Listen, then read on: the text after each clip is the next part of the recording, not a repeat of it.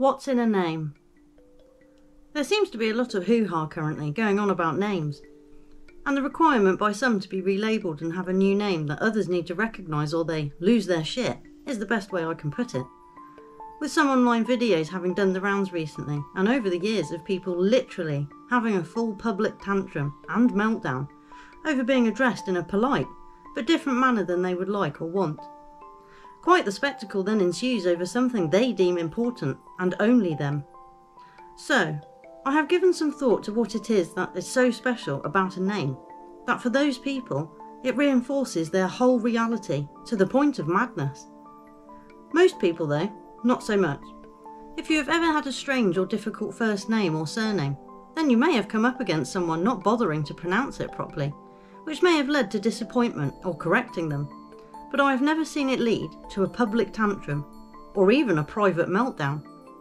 Although, no longer private these days in some cases too, because the person having said meltdown will often then film themselves having an episode about it and share that online, ensuring that others can see their pain at hearing a word they did not like, showing the world that their fragile reality is based on a word, and that others must play along for it to be harmonious reality for them.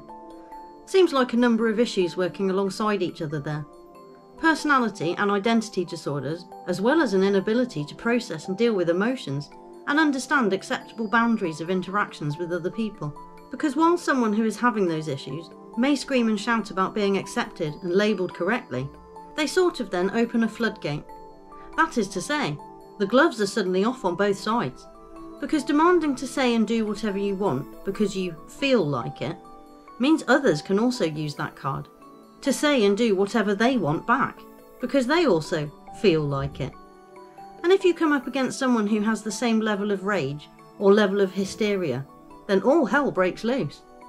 But there is a difference, to me anyway, of one being usually developed and possibly medicated in a way that clearly seems to suppress emotional maturity and development, and perhaps normal emotional reasoning, which may indeed play a role towards why they act like that in public but the other type who is on the receiving end and may respond, which could well be medicated too in some way. They say we all have a mother's little helper to get through the day. Or what I think of as the falling down type, like the movie, where you are wound up over a number of years with a number of life problems, like an elastic band ready to snap. A fair amount of that will be building as the conditions are being set for more of it in people. But it's odd, to me, that someone would think that merely a name can represent who they are.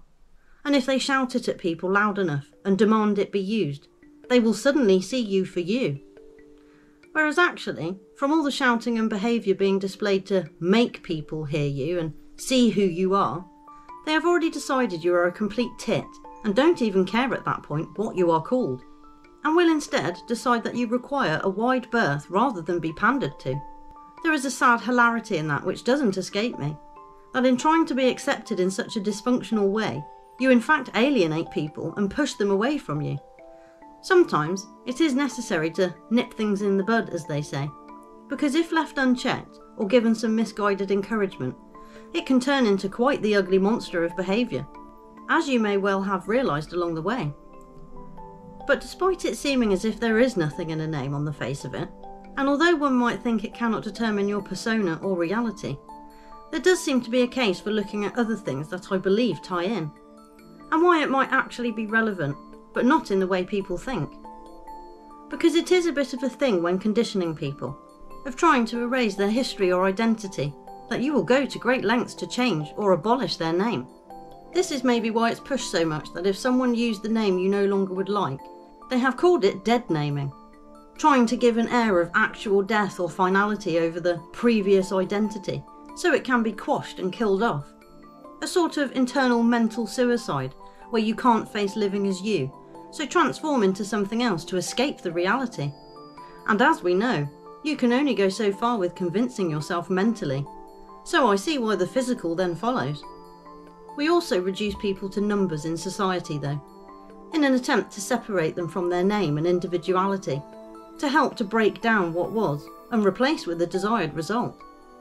Prisoners being given a number as well as other establishment areas, military and law enforcement cutting half your name away, taking away the personal touch but leaving the formal half.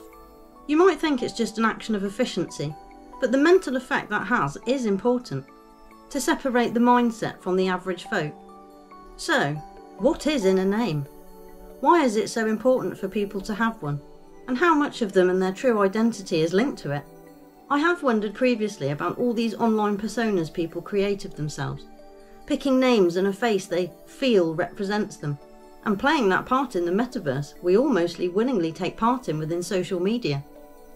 But if you subscribe to the belief in being able to manifest a separate entity through thought projection, as in tulpa mysticism, then it becomes a different kettle of fish entirely, and a strange world emerges. So, at what point does the old identity disappear and the alter ego, or newly created persona, takes over? Is there always a fight between the original self and the new self that needs to constantly reinforce its presence? with an almost complete breakdown of self once that encounters a disagreeable view or differing opinion. Only satisfied and calm when being affirmed, validated, and congratulated on said new self, but is ultimately unstable and becomes dependent on that continued attention to maintain their new self. Or at least that is how I see it, and it comes across in the public forum it is presented within. There are plenty of people, though, who only need their own approval and those people go about their business and just get on as best they can, trying to navigate society, as we all have to.